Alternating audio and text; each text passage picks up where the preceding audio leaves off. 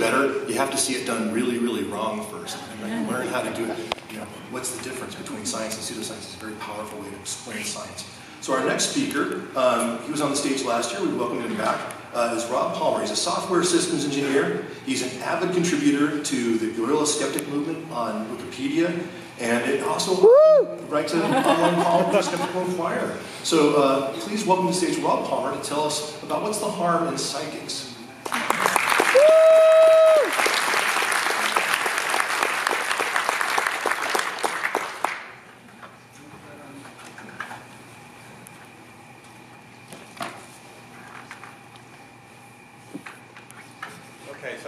video is working? Yo. Hello. Hey. I'm reaching you from the great beyond. okay. I actually have some um, video in the presentation, so I have an audio check here. Let's see if this works.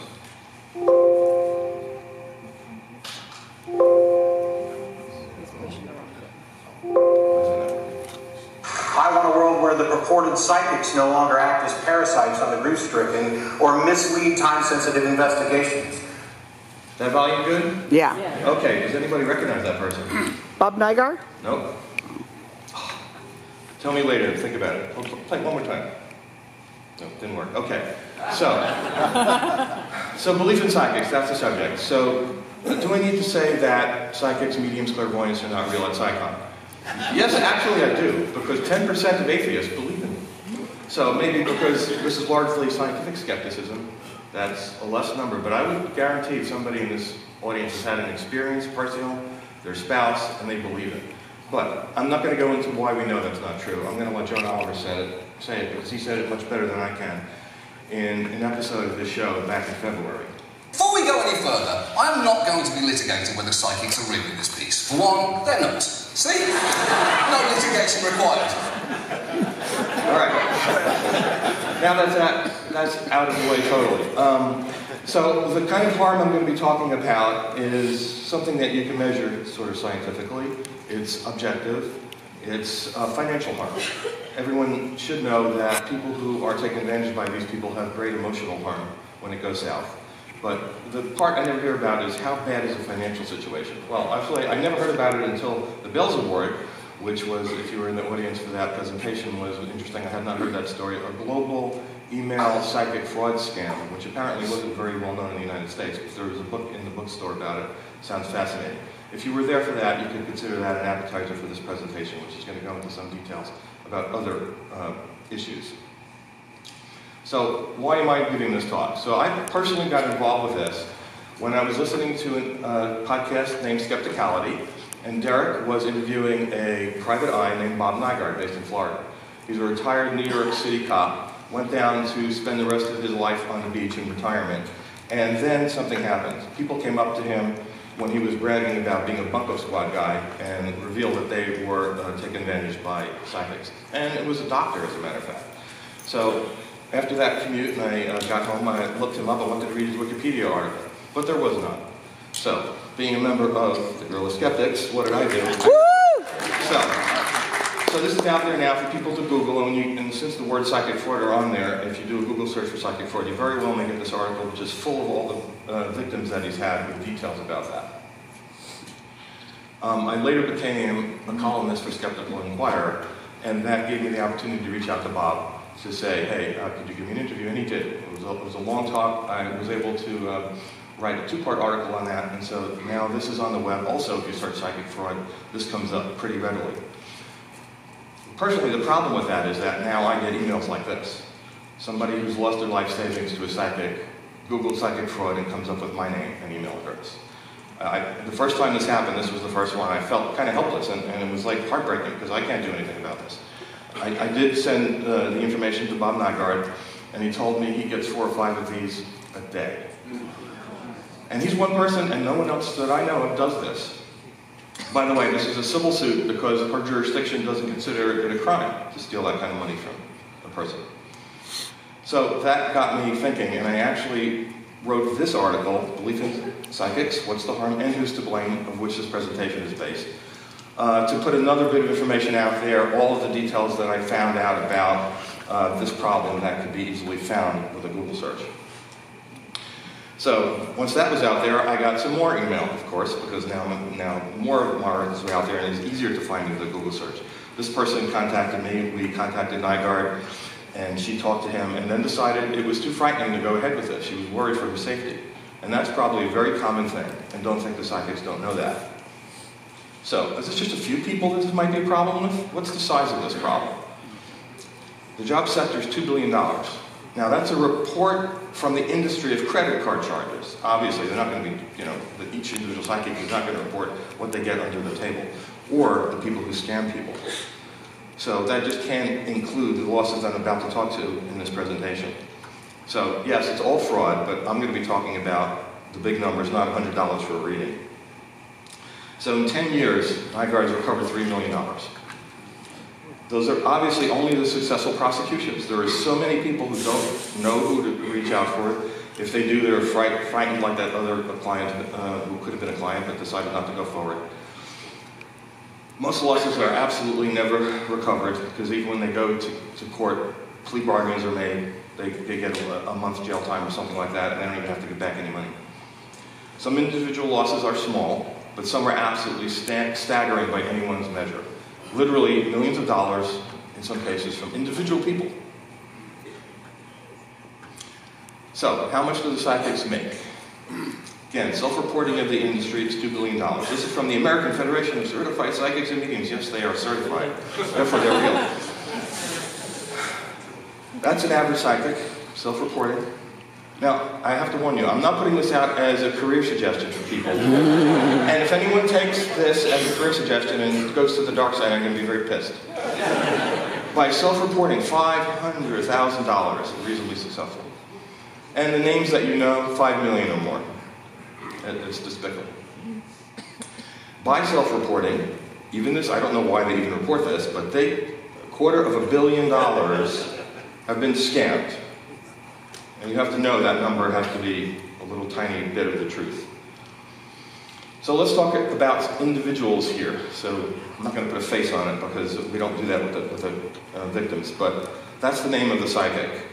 So she convinced her client, who was a male, in love with a woman on Facebook who wouldn't give him the time of day, that she could help that situation because they're twin flames kept apart by negativity.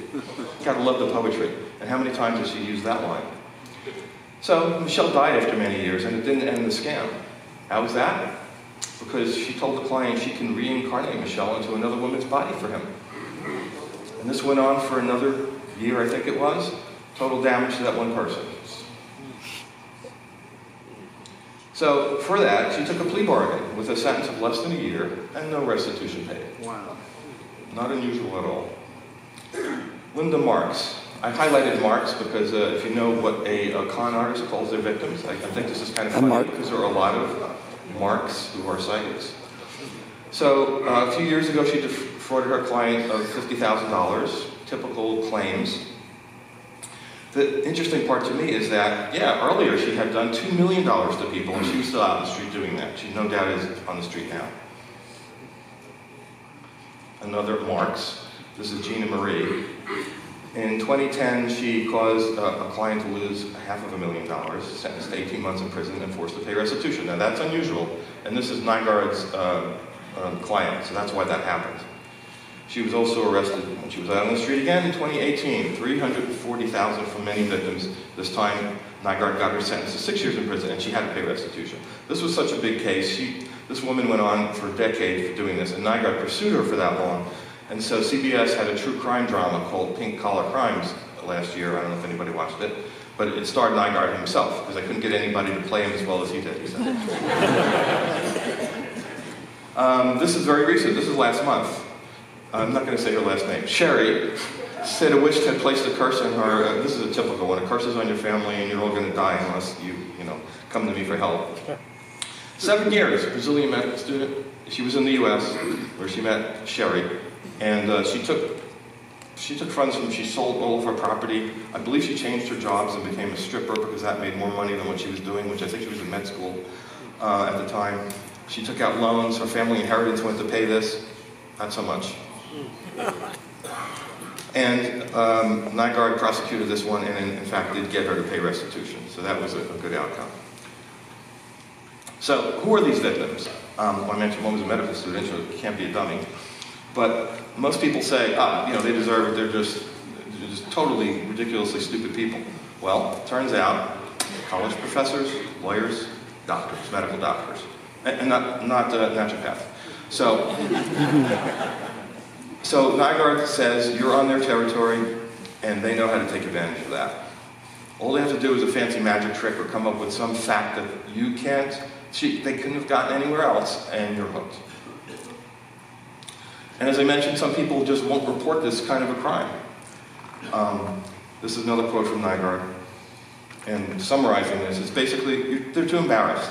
He had one client who called him up, wanted to just tell him about the person he went to so he could keep an eye on him, but wasn't going to put his own name in the paper because he'd lost $200,000 and that was not worth his reputation at the university. And again, the psychics know this. So now we're going to get to the who's to blame part of this. Well, that's kind of obvious. Don't know what we do about it, but. So this is an interesting one. Uh, last year's Pew poll, 41% of respondents say believe in psychics, mediums, that sort of thing. Um, 10%, as I said, of atheists. But that still shocks me. So, you know, once we have a belief like that, or even if you're not sure and you hear your friends talking about it, people at work, which I do all the time, people argued I shouldn't come talk about this because their friend is a psychic and she knows it for a fact. Another one got a read from John Edward, and, you know, the biggest douche in the universe, but he said one word to her, her ex-husband's name, and she will not be swayed that that's not true. And I'm going to put the spotlight here on television. I hear this is not such a problem in some countries, which maybe it's because in, in their media they don't do what you're about to see here, but this is a big thing here. Practically every station has something, right? Everyone knows Teresa Caputo. I mean, it's clear. That's what says on the on the official site of, of the network she's on. She contacts spirits and departed loved ones. Um, she's been around a long time. This is a newer guy. I talked about him last year because the World Skeptics had a hand in his Wikipedia article and adding skepticism to it. But he talks to the Hollywood celebrities, so that's really a bad situation because anytime one of those gets contacted by their dead relatives, and it's proof that there's an afterlife and they're famous, so that they get written up by CNN and such. This guy's relatively new. Thomas John. He picks up people in his Uber and talk, tells them in the back seat that their dead relative is contacting them and tells them all about it. You're going to remember his name, Thomas John. We're going to talk about him a little bit later. So those are the one of the big name people that get their own shows, but of course the smaller people are all. Alex started communicating with the dead when she was just a toddler. She's a wife and a mom who also happens to talk to dead people. Please welcome celebrity pet psychic. Our next guest is a clairvoyant to the stars. We're back with a group of friends who share a very unique bond. They are all psychic. Of course they are. Thank you, Dr. Oz. so, is he a medical doctor, by the way? Yeah. Um, God. So, so besides television, uh, there's other, well, famous people. Gwyneth Paltrow, she's got a big following. Everyone knows about Goop here, probably.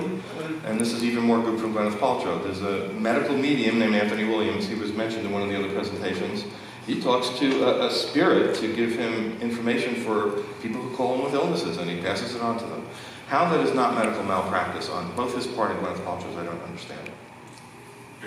By the way, if you love Gwyneth Paltrow as much as I do, there's, a, there's, a, there's, an article I wrote, which is not in Skeptical Inquirer, it's on another site, but you can Google it by Pepper Potts Supervillain. And uh, I really take her and, uh, and Goop to task for what, all they do. The, the, this is just a uh, you know, tip of the iceberg. So, what's the connection between the media presenting these people as real, who become famous, and then, you know, Joe or Sally going down to the street corner psychic with a sign in the window for a free reading? And again, John Oliver said it fantastically. Let me let him tell you. What's the connection? Because this surprisingly large, often predatory industry relies on popular culture to lend it credence and validity. To put it another way, Every time a psychic makes a grieving widow cry on Dr. Oz, ten con artists get their wings. I'm going to play that again if I can, because that. Ah, because this surprisingly large, often predatory industry relies on popular culture to lend it credence and validity. To put it another way, every time a psychic makes a grieving widow cry on Dr. Oz, 10 con artists get their wings. It's amazing that that's so right on. And again, thank you, Dr. Oz, yes. So, once that's in your head, that you believe this stuff because you see it on television, you can't go anyplace without seeing these in storefronts, magazines, there are books, all sorts of things. It, it, it just reinforces the belief. So many people advertise advertising this, it has to be real. So I came across this one personally on the way to a restaurant last month. High school with a psychic fair. Get them while they're young. I just thought that was despicable. And of course, in the days of the internet, you get these, I get emails all the time, free psychic reading. Here you just put your email address, if you can see it in there, and you'll get your free psychic reading. I'm gullible. And I'm, and I'm sure it'll never cost you another dime. At gmail.com. if that's reading. And then if you want to go to the authorities because you've been ripped off, you might get that. Yep, police chief. Go to a medium. So this comes to mind about what we have to do to prevent people from falling into this. This is a famous quote from Mark Twain.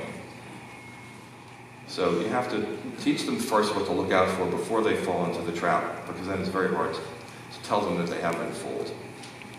And there's a corollary to that. If you think you can't be fooled, then you may actually be one. But that wasn't Mark Twain, so I'm just saying. So, what can we do about this?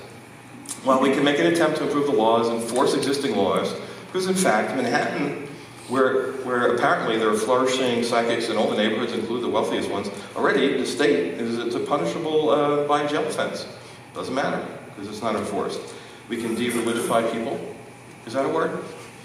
Well, if it's not, now it is. So. Um, but that might not totally help, because I showed you the information before, and I mentioned it, that the uh, Pew poll said that 41% of, of uh, people believe in it, 10% of atheists. But the problem is, people who drop out of mainstream religions and consider themselves spiritual are at a 60% rate.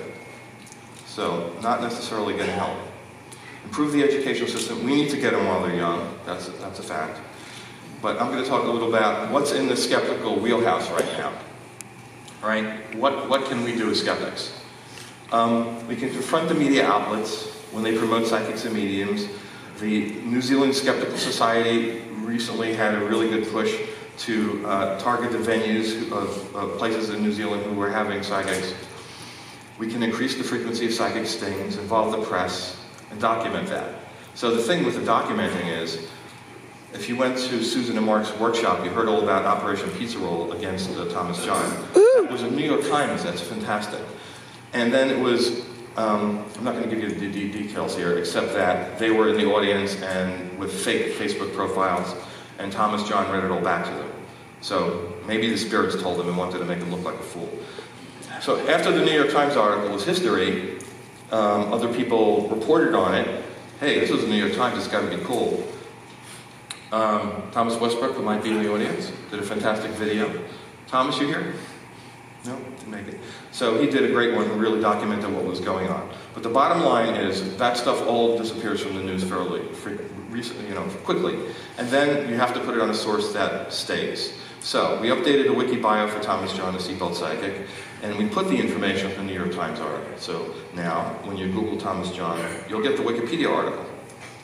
Also, the same for Matt Fraser, who was another person who they did this thing on. He didn't do hot reading, but there were a lot of articles about cold reading. Tyler Henry, he wasn't in the sting, but we, as I mentioned, we have a lot of criticism on his article. And the thing that reason that's important, two million plus views. So to summarize, despite the lack of proof, the ubiquitous fawning of the media makes people believe these powers are real, and that contributes to convincing people that psychics can help solve their problems. And this exposes desperate people to the possibility of devastating, unrecoverable uh, fraud. Any old media outlets perpetrating the public's belief in psychic powers have substantial blood stains all over their hands. So that was my summary from my article. If anyone wants to send in as a quote of the week to Skeptic's Guide, I'd appreciate it. and finally, as a community to protect the public, if we're going to do that, we need to confront the people who promote these people, these fraudsters, continue sting operations to expose them, and use Wikipedia, YouTube, and other popular media to educate the public. Thank you.